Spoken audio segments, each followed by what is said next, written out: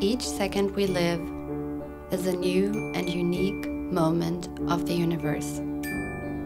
A moment that will never be again.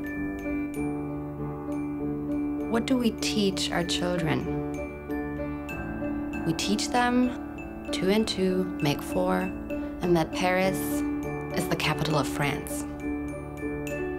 When will we also teach them what they are? We should say to each of them, Do you know what you are?